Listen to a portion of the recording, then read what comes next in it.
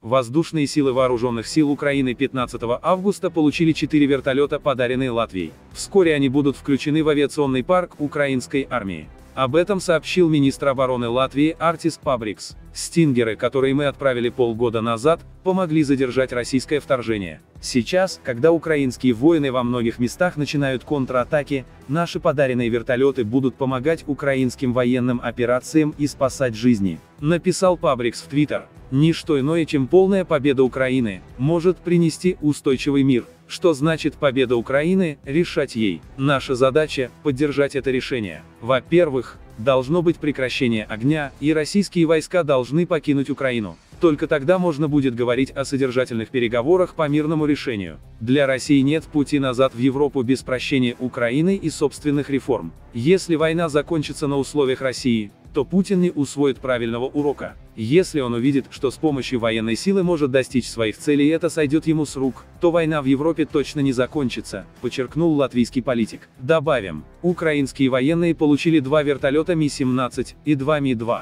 Перед передачей вертолеты перекрасили, а один Ми-17 капитально отремонтировали. Спасибо за просмотр. Слава Украине!